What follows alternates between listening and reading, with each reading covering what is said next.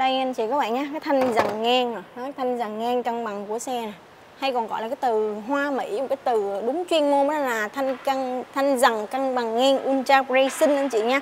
Thì cái thanh này chủ yếu được gắn thêm cho xe nha chứ nguyên bản xe nó sẽ không có. Thì gắn thêm cái thanh này mình chạy xe thì cảm giác lái mình nó xịt đầm hơn. Và nó khi gấp vào nó lại không hề thay đổi gì về cái phần kết cấu động cơ hay là thiết kế như ban đầu của khung gầm xe hết nha. Mà nó cải thiện được cái động lực lái xe tạo cảm giác mình rất là thoải mái êm đầm khi chạy xe đó, đó. đẹp anh chị nha và cái thanh rằng ngang này đang được lắp cho chiếc Honda CRV 2019 anh chị nha phiên bản L số tự động. 2019 CD 40 hàng. Cây đang có mặt tại ô tô Sài Gòn bên em, anh chị các bạn nhé sở hữu nước sơn màu đen, cực kỳ đẹp luôn. Nha xe có cách âm nguyên xe luôn, anh chị nhé này, em gỗ thử cái cửa, anh chị nha cầm thanh đúng không? Rất là đầm. Xe này không có cách âm. Vang đúng không, anh chị các bạn nhé cái này nó sẽ đầm hơn.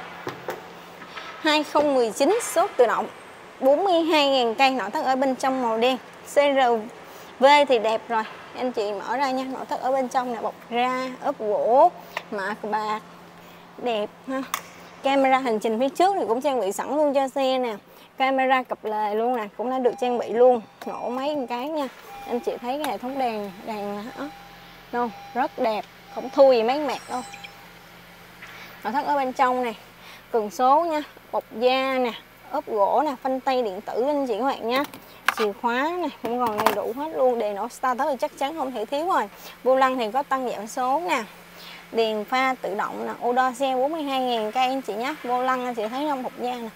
Hầu như cái vô lăng là không có bị chày xước luôn á. Không có bị mốc mốc luôn á anh chị các bạn nhé có bọc vô lăng nè, có dấu của bọc vô lăng nè, nhưng mà ảnh thay thường xuyên, cho nên là xe nó sẽ không bị cái trường hợp là là nó bị bị bị ờ, bị oxy hóa nha ờ, bị oxy hóa bị mất cái vô lăng nó sẽ không có bị rất kỹ luôn. Chị nha đẹp ha. Ghế chỉnh tự động nè lên xuống trước sau lên xuống chỉnh tựa lưng nè độ phòng của ghế ha. Đầy đủ đồ chơi hết luôn. 2019 anh chị các bạn nha. Đẹp. Nội thân ở bên trong xe và phía sau xe này là có trang bị luôn cái cúp điện luôn anh chị các bạn nhé.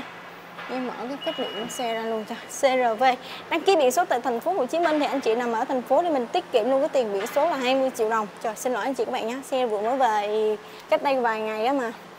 Ở bên xưởng nó đông quá, chưa có mang qua dọn dẹp cho xe đó mấy cái này nó còn hơi bề bộn mình không cảm giùm em ha. Rồi, nội thất ở phía sau xe, anh chị thấy nha. Anh kỹ đến nỗi mà anh bọc bọc luôn cái cái chảy sàn ở phía sau và anh bọc luôn cả phần tựa lưng ghế luôn nè. Anh chị nhìn thấy ha rất là đẹp. Có thêm cái nẹp chống chày để khi mình kéo hành lý, mình để đồ này nọ nặng đó, lên xuống này, không có bị trầy cái phần nhựa ABS này. Vì cái phần nhựa ABS này khi nó trầy nó sẽ khó hơn cái tấm này. Cái tấm này chày thì tháo quăng ra, mua khác gắn vô anh chị nha. Rất là tiện khi mà để nó chày tới cái khung này nhìn rất là xấu cướp là cướp điện ha. Cái đường đai ốc keo chỉ của xe anh chị nhìn thấy nha, còn mới nguyên hết luôn. Thì tất cả những chiếc xe mà bên em quệ bán ra, em sẽ cam kết luôn cho anh chị nha, xe không bị đâm đụng nè, ảnh hưởng tới khung gầm, động cơ và kết cấu của xe nha. Về pháp lý thì sẽ là minh bạch và đủ điều kiện để mình mua bán sang tên nên mình cứ yên tâm ha. Và cái nữa đó là khi anh chị mình mua xe thì bên em sẽ hỗ trợ anh chị mình rút hồ sơ gốc miễn phí luôn, nên mình đừng có lăn tăng là xe mà ở tỉnh thì như thế nào? Mà xe đăng ký về tỉnh thì bao lâu á? Thì em cũng chia sẻ thêm ở đây nha. Nhưng mà những hồ sơ gốc mà tại thành phố Hồ Chí Minh á, thì thời gian rút hồ sơ của bên em thì trung bình là khoảng 3 ngày. Chậm nhất là 7 ngày. Còn tất cả ở các tỉnh thì trung bình em rút hồ sơ là từ 7 đến 10 ngày.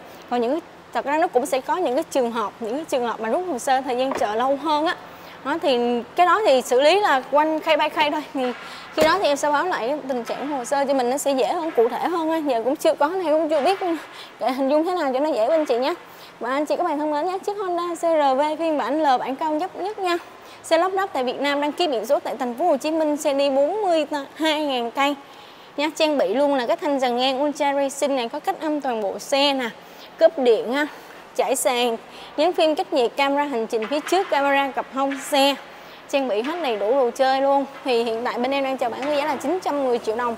Anh chị các bạn, mình thích chiếc xe này cứ liên hệ trực tiếp với em qua số hotline 0937003355 nha. Thì em sẽ gửi thông tin chi tiết hồ sơ xe, giấy tờ, pháp lý đồ của xe, của Hoa để cho anh chị các bạn mình cùng kiểm tra nhé. Và em xin phép được kết thúc video tại đây. Hẹn gặp anh chị và các bạn ở những chiếc video kế tiếp nhé. Em xin chào.